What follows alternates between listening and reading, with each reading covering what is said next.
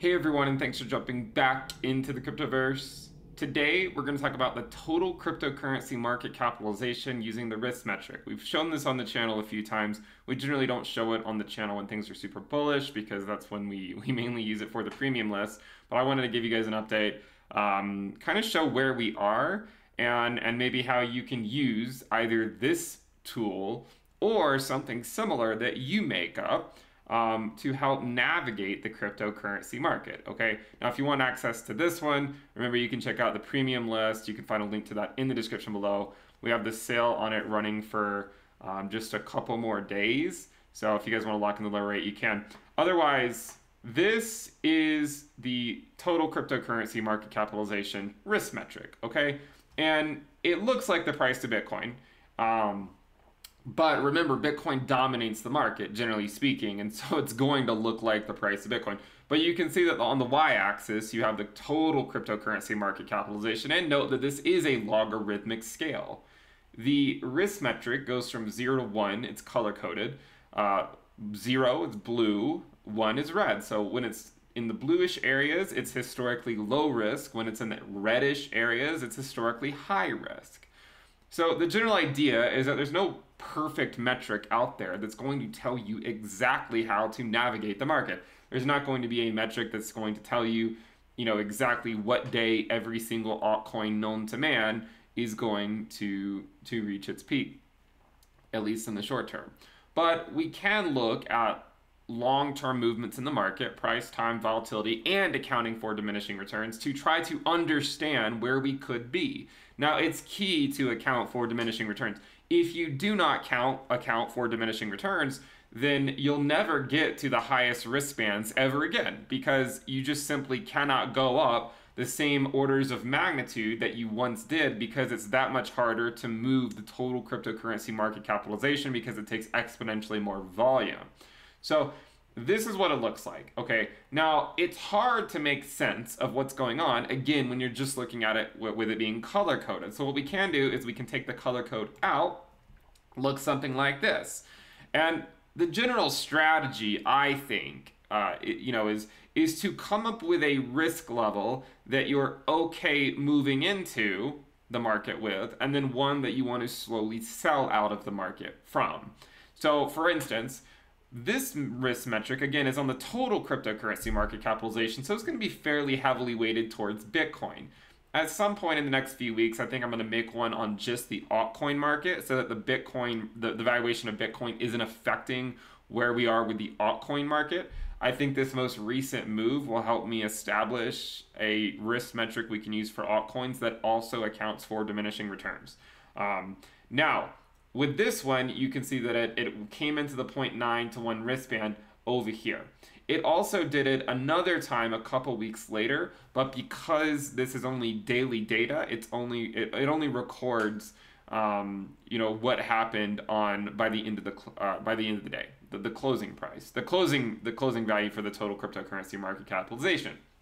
So the way I think the, the, the best way I think to navigate this is to just say, well, depending on how aggressive you want to be, if you're below a certain risk level, so let's say if the total crypto mar- if the total cryptocurrency market capitalization risk metric is below 0.7 risk, maybe you consider that to be a time to slowly DCA into the market to a cryptocurrency of your choice. But remember, it's important to pick ones that will stand the test of time, not ones that are just showed on Reddit that day and were probably upvoted by a lot of bots. Okay, that's that's something I want to to make sure people understand. Picking projects that stand the test of time uh, are it's a lot less stressful than than picking projects that are you know could could be just go to zero. Um, so I think do your do your research on, on which projects you want to invest in.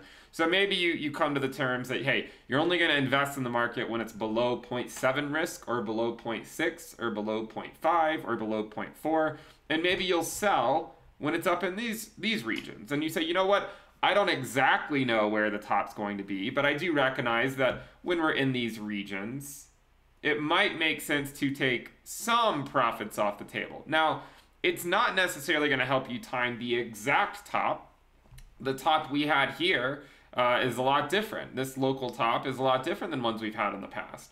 But we did make it to the 0.9 to 1 risk band, and you know it hit it relatively quickly because of how quickly things were moving up. And then the, the total crypto market capitalization only marginally went up a little bit higher after that point over the span of, of a couple months so generally speaking if the idea is well hey we know we're in these high risk bands for the total cryptocurrency market capitalization well how do you navigate that for each individual crypto and that's why again for the premium list we have risk metrics for every single cryptocurrency that I want to follow. I should say that I want to follow.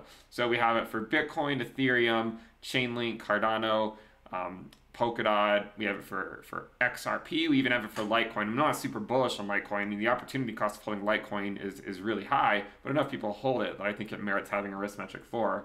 Um, and then we also have it for a lot of other projects like like Cosmos and um, Stellar Lumens, like XLM. Um, and then we're going to be introducing it probably in the next few weeks for some other cryptocurrencies like like Solana, Aave, um, Maker, and uh, Kusama, maybe a few more. So, and by the way, the risk metrics are not only against the U.S. dollar but also against Bitcoin and against Ethereum, depending on what what pair you're traded, depending on what pair you're trading.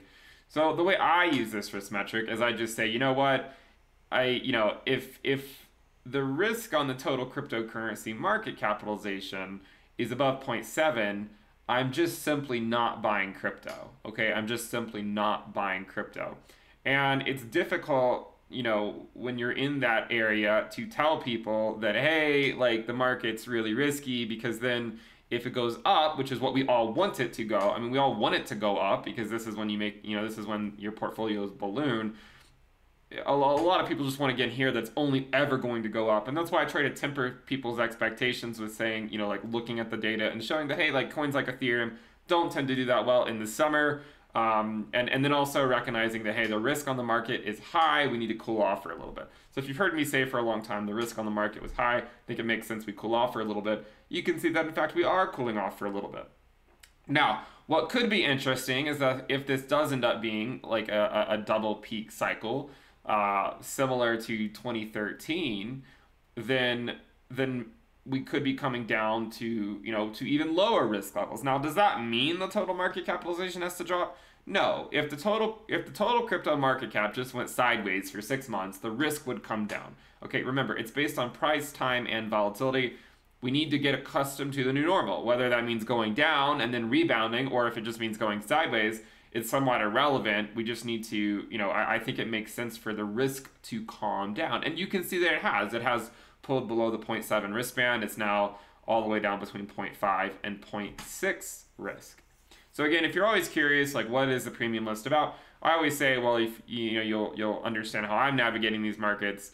Um, we have the risk metrics, we have the risk dashboard, we have the Into the Cryptoverse app where you can access the risk metrics, and it sort of tells you where we are and you can take profits based on your own risk tolerance um, and you know or or you can just maybe scale into the market more when the risk is lower and if you don't know what i mean it means like you know whenever the risk comes down whenever there's a pullback everyone wants to just like fomo into the market all of their money uh, you know when it first has this first pullback but you could argue that having some type of discipline and, and uh, exercising like a, a, either a static DCA strategy or a dynamic DCA strategy would not be the worst idea in the world. That way, you know, if you get below 0.7 risk, hey, at least you're moving into the market some, right? At least you're moving in some.